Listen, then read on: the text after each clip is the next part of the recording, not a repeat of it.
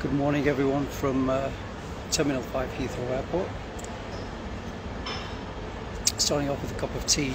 Uh, as uh, being British, that's what we normally do. Well, uh, I just want to say hello again to everyone. Uh, those of you who were sort of checking out my videos earlier from uh, the last time I was here on the last rotation.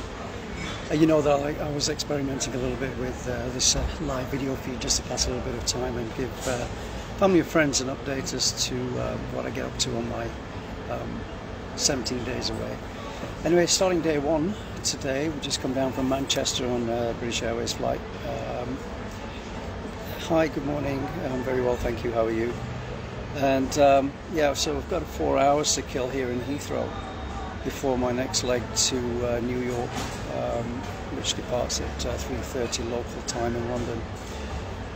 Um, so this is probably my um, third breakfast I'm having, just to pass the time actually. Uh, tea and toast is on its way. Um, I've decided to uh, skip a full lunch, partly because my uh, middle section seems to be growing quicker than anything else. Anyway, how is everyone? I'm very well, thank you. Um, it's been a fairly busy morning uh, this morning, as usually is the day before we uh, set off for work, as uh, everyone at VistaJet will know you don't normally find out where you're going until uh, the evening before usually. And uh, then it's a case of just packing your stuff and checking the weather at destinations. I can say New York's uh, looking quite well actually at the moment. It's around 20 degrees and uh, over the next couple of days it's even touching 30 with some thunderstorms. Uh, do I commute wearing my uniform? Uh, in the days of COVID, yes, I do. Uh, just makes travel a little bit easier especially when you have to prove uh, your identity and the reason of travel. Um, so it just makes it a little bit easier just to get through the airports with uniform. Under normal conditions, no, I don't normally travel in uniform just because it's. Uh, thank you very much. Well, there's my toast just arrived, thank you. Um, yeah, under normal conditions before COVID times, um, I didn't travel in uniform just because it was more comfortable without.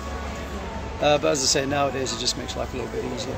So how's everyone today? What are you up to? Uh, it's um, you know, a busy day, I guess, for most people. It's a working day, working week.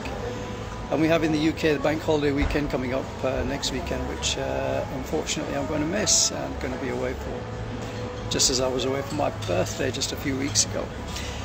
But I'm looking forward to um, this rotation. Uh, no, I'm not a pilot at all. This is just fancy dress, Steve.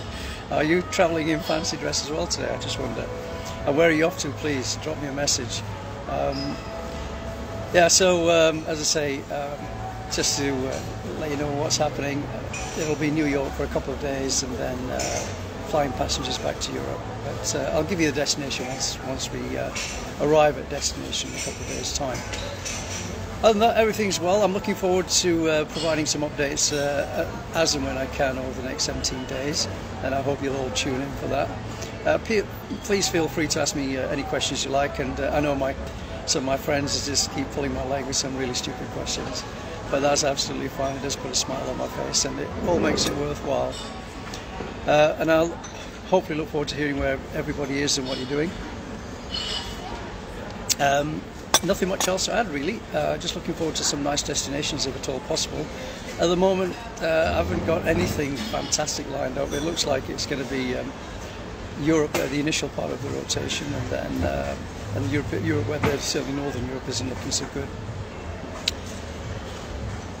Thanks, mate. I will enjoy New York for the couple of nights with their usual hotel if you do end up going there down at uh, Lower East Side and uh, hopefully there's a couple of crews around just to say hello to.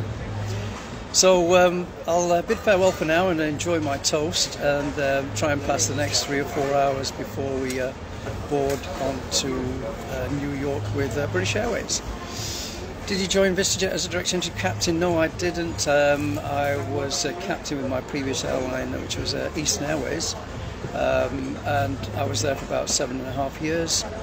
When I came to VistaJet, I joined as a first officer um, because I was lacking the uh, jet experience and also the worldwide experience that um, you use, which is very handy, obviously, if you already have it uh, when you're working for an operation like VistaJet. So I spent about a year and a half in the uh, right seats, and then I was started my upgrade training for the left seat, and got my left seat in the middle of, uh, I think it was the end of May 2016. So about five years now in the seat with VistaJet.